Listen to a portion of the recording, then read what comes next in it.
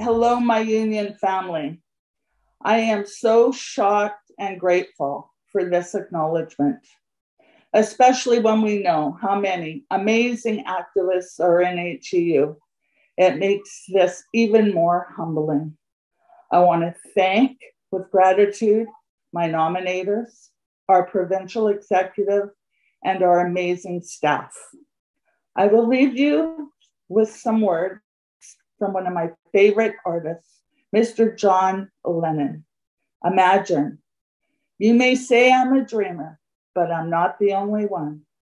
I hope someday you'll join us and the world can live as one. Thanks to all of you for going to work every day. Be safe. You will always be my heroes. Peace.